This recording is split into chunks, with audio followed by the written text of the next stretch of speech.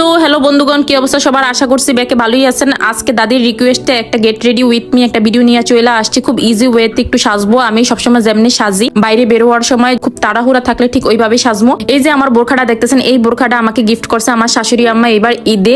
অবশ্যই আমার শাশুড়ি আম্মাকে অনেক বেশি শ্রদ্ধা জানাই, সম্মান জানাই। থ্যাঙ্কস শাশুড়ি আম্মা। কারণ শাশুড়ি আম্মা বোরখাটা দিছে আমার বেশ পছন্দ হয়েছে। আপনাদের কাছে কেমন লাগছে অবশ্যই জানাইবেন। তো শুরুর দিকে আমি হচ্ছে মুখের মধ্যে পাউডার দিয়ে নিতেছি। সানস্ক্রিন তো এখন দিচ্ছি না, যেহেতু খুব তাড়াহুড়া আছে। আর দেখাইও না তামসা, ব্যবহার করো গামছা। আমার গামছা থেকে কেউ কিছু মনে করেন না, আমি গামছাতে খুব কমফোর্টেবল ফিল করি। পাউডার দেওয়ার পর, এই তো একটা কাজল নিলাম। কাজলটা নেওয়ার পর একটু চোখে লাগাইলাম। লাগানোর পর একটু ভ্রুতে দিলাম, একটু ভ্রুটা আর্ট কইরা তারপরে দেখেন আমার এখানে একটা তিল আছে। এই তিলের উপর আমি আবার আরেকটা তিল দিয়ে দিলাম। তারপর দেখেন ঠোঁটের মধ্যে সিম্পলি আমি হচ্ছে যে একটু বেজলিন দিয়ে দিলাম। দেখেন প্রচণ্ড গরম পড়তেছে, আমি প্রচুর ঘামাইতেছি প্রচুর ঘামাইতেছি। খুব তাড়া থাকলে কীভাবে আমি হিজাবটা বান্ধি ওই জিনিসটা আমি আপনাদেরকে দেখাইতেছি। এই তো প্রথমে আমি একটা হিজাব পিন দিয়া, হিজাবটা পিন আপ করে নিলাম। হিজাবটা পিন করার পর এবার আরেকটা পিন দিয়ে মাথার উপর দিয়ে লক করে নিলাম, যাতে হিজাবটা না নড়ে। তারপর হচ্ছে একটা মাস্ক পরে নিলাম। মাস্কটা দুই সাইডে পিন করার পরে এবার হচ্ছে যে হিজাবটা মাথার উপর দিয়ে নিয়ে, খুব সহজ পদ্ধতি এটা, যে কেউই পারব না পারার কিছু নাই। তারপর হচ্ছে যে মাথার উপর দিয়ে পিন করে দিলাম। তারপর দুই সাইডে দুইটা পিন করার পরে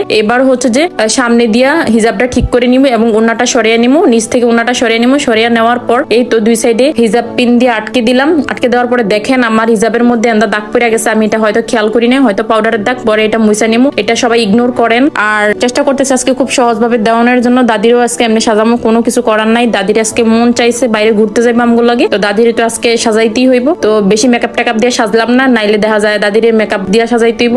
দাদির পিছনে এত মেকআপ খরচ করা যাইবো না। তাই সহজ টেকনিক দেখাইতাছি। তারপর হিজাবটা এই তো গুছানো শেষ। তারপর দুই সাইড দিয়ে পিন করে দিলাম। দেখেন অলমোস্ট আমার হিজাব পরা শেষ। এবার মাশাল্লাহ একটা ব্রুজ আছে। এই ব্রুজটা আমি হিজাবের সামনে দিয়ে লাগাই দিলাম। দেখেন কত সুন্দর এবার ফ্যান্টাস্টিক লাগতেছে আমারে। ও মাই গড এত সুন্দর লাগতেছে। দাদিরে সাজাইলে আজকে এত সুন্দর লাগবো। তারপর দেখেন কি সুন্দর একটা রিং। এই রিংটা আমারে আমার বান্ধবী গিফট করছে। তো এই রিংটা একটু পরে একটু পোস্ট নিয়ে আলোই কারণ এই ভিডিওটা তো আমার বান্ধবীও দেখব। তো বান্ধবী বুঝব যে বান্ধবীর জন্য এই পোস্টটা ডেডিকেট করছি আমি। তো দেখো বান্ধবী কত সুন্দর লাগতেছে এই রিংটা পরার পরে। তোমার এই রিংটা আমার বেশ পছন্দ হয়েছে। এই তো উপরে লাভ শেপের ওয়াল হ্যাঙ্গিংটা যে দেখতেছেন, এটা আমি আমার জামাইকে বার্থডেতে সারপ্রাইজ হিসেবে আমি নিজের হাতে বানিয়ে দিছিলাম। যাই হোক, আমার রেডি হওয়া অলমোস্ট শেষ, এবার বলেন আমার কোন ক্যারেক্টারটা আপনার কাছে বেশি ভালো লাগছে, অবশ্যই কমেন্ট করতে ভুলবেন না। আন্নে উৎসাহ পাইলে নেক্সট আমি এই রকমের আরও অনেক সুন্দর সুন্দর ভিডিও বানাবো অবশ্যই আমার চ্যানেলটাকে সাবস্ক্রাইব করতে হবে, আমার পেজটাকে ফলো দিতে হবে লাইক করতে হবে এবং কমেন্ট করতে হবে। দেখা হইব নেক্সট কোনো ব্লগে সি ইউ সুন বাই